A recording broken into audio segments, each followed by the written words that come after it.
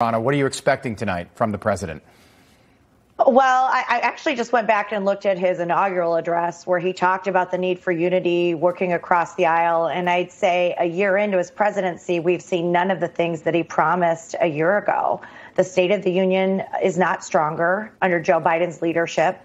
I think the American people are desperate to hear him acknowledge that his policies have caused inflation, have caused a rise in the cost of living, that he has not visited our southern border, that it is open and porous and drugs are coming across.